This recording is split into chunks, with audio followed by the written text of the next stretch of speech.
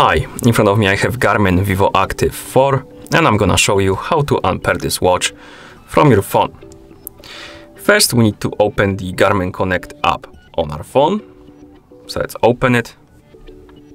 In the app we need to select our uh, Vivo Active 4 from the list right here. And it should open the device page for our Vivoactive. Now let's tap on the more options icon right here Select remove device, then tap remove.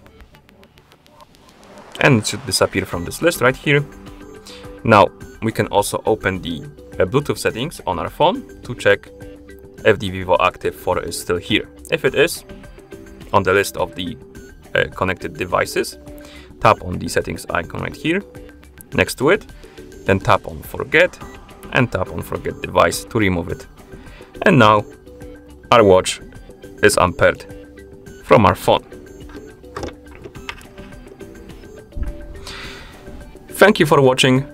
If you found this video helpful, please consider subscribing to our channel and leaving the like on the video.